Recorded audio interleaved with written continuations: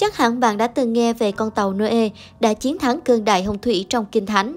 Đối với những người theo đạo Thiên Chúa Giáo và những ai đã từng đọc Kinh Thánh thì hẳn đã biết ngọn ngành về truyền thuyết này. Liệu tàu Noe hay một thứ gì tương tự nó có tồn tại hay không? Huyền thoại Câu chuyện kể rằng vào một ngày khi phải chứng kiến những tội ác mà con người gây ra, Thượng Đế đã cảm thấy hết sức tức giận và hối hận vì mình đã tạo ra loài người. Ngài đã quyết định tạo nên một cơn đại hồng thủy để quét sạch hết thảy những mầm mống của tội ác. Lúc bấy giờ, ở trên mặt đất, có một người tên Noe có lòng dạ ngay thẳng, nên Thượng Đế không nỡ giết hại và đã báo mộng cho ông biết ý định của mình. Người khuyên bảo, Noe hãy đóng một chiếc thuyền thật lớn để có thể chứa được tất cả những người thân của gia đình mình cùng với tất cả mọi loài động vật, nhưng mỗi loài chỉ được mang theo một cặp. Nghe theo lời Thượng Đế, Noe đã đóng một chiếc thuyền khổng lồ dài 360m, rộng 23m, cao 13,6m, được chia làm 3 tầng rồi đưa tất cả các loài động vật lên đó với mỗi loài chỉ có một cặp. Ngay khi thuyền được đóng xong và tất cả các loài đã lên được thuyền thì cũng là lúc cơn đại hồng thủy ập đến. Quả nhiên, nguồn nước ở vực sâu nứt ra, tràn ngập khắp nơi. Một cơn mưa lớn và dữ dội kéo dài suốt 40 ngày đêm.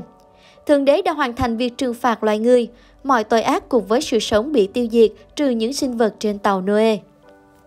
Sau trận lụt kinh hoàng, nước rút dần khỏi mặt đất thì ông Noe thả một con chim bồ câu bay ra khỏi tàu xem tình hình bên ngoài.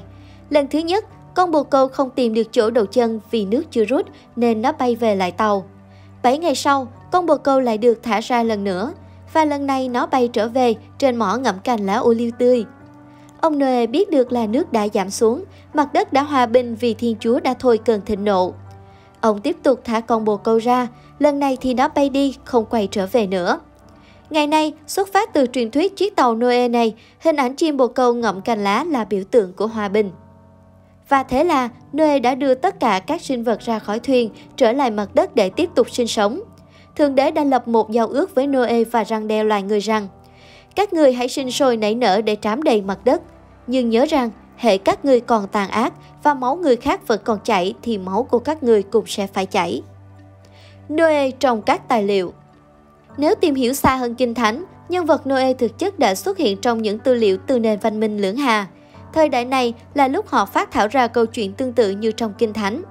Tuy nhiên, Noe ở đây được gọi là Zioshura. Sau thời đại đó đến những người Babylon, họ ghi lại một câu chuyện tương tự trong lịch sử. Nơi ở đây có tên là Utabistim đã được cảnh báo về một trận bão lớn và xây dựng một chiếc thuyền lớn chia làm 6 phần. Đại khái là nhân vật này xuất hiện trong nhiều tư liệu của các vùng miền khác nhau với những cái tên khác nhau. Những giả thuyết về trận lũ Đầu tiên, chúng ta chưa thể tự suy đoán rằng thuyền Noe có thật hay không. Vấn đề nên được bắt đầu qua lịch sử. Liệu rằng trận đại hồng thủy lớn như vậy có thực sự xảy ra hay không? Trên lý thuyết, nhiều nhà khoa học cho rằng điều đó là không thể. Tuy nhiên, các nhà địa chất William B.S. Ryan và Walter C. Pittman tới từ Đại học Columbia lại đưa ra ý tưởng rằng trận lụt lớn là kết quả khi mực nước biển đen tăng nhanh sau quá trình băng hà, thời gian vào khoảng 5.600 năm trước công nguyên. Giả thuyết về lũ của Noe được các nhà địa chất cho rằng xuất phát từ các đỉnh băng tan trên biển Địa Trung Hải, thông qua eo biển Bosporus tới biển đen với lưu lượng lớn. Kết quả là làm lũ lụt trên phạm vi khoảng 96.560 km vuông trên trái đất.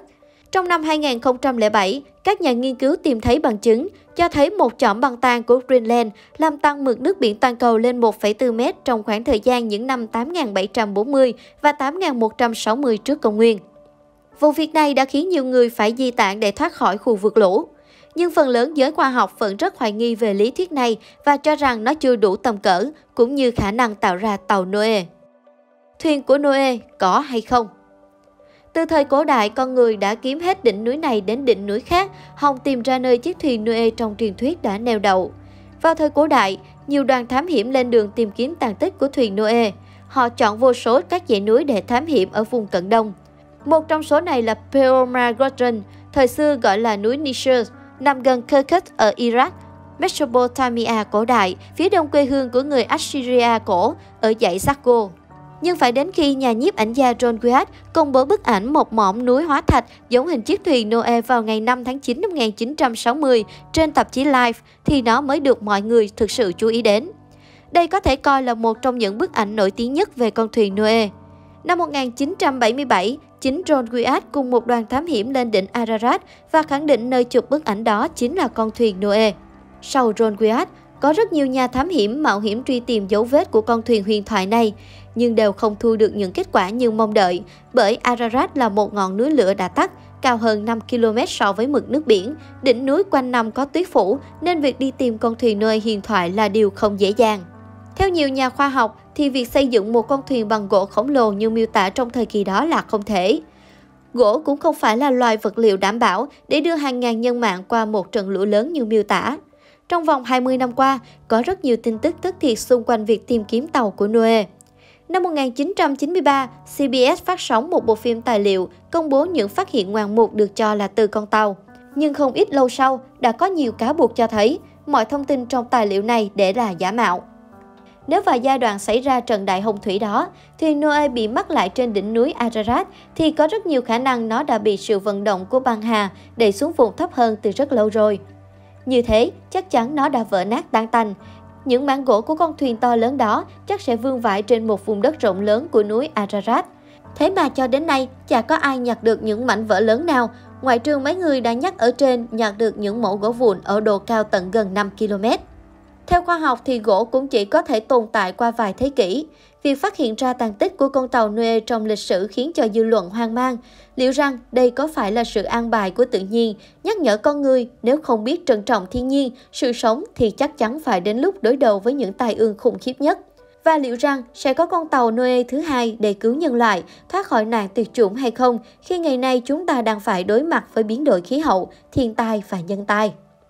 Cho đến ngày nay, những bí ẩn về con tàu Noe, về đại hồng thủy trong quá khứ vẫn gây tò mò cho các nhà khoa học và những người yêu thích tìm hiểu khám phá. Việc tồn tại hay không tồn tại của chiếc thuyền Noe đến bây giờ vẫn nằm trong vòng tranh cãi. Tuy nhiên về mặt khoa học lý luận, chúng ta chưa có bất cứ bằng chứng nào khả thi cho thấy rằng nó có tồn tại. Nhiều giả thuyết được xây dựng, nhiều cuộc tìm kiếm được phát động, nhưng có lẽ rằng để chứng minh được rằng tàu Noe có thật sẽ là một thách thức khá bất khả thi và khi khảo cổ học tìm thấy di tích con tàu Noe như một bằng chứng cảnh báo con người trong thời đại ngày nay, hãy tính lại đi trước khi quá muộn.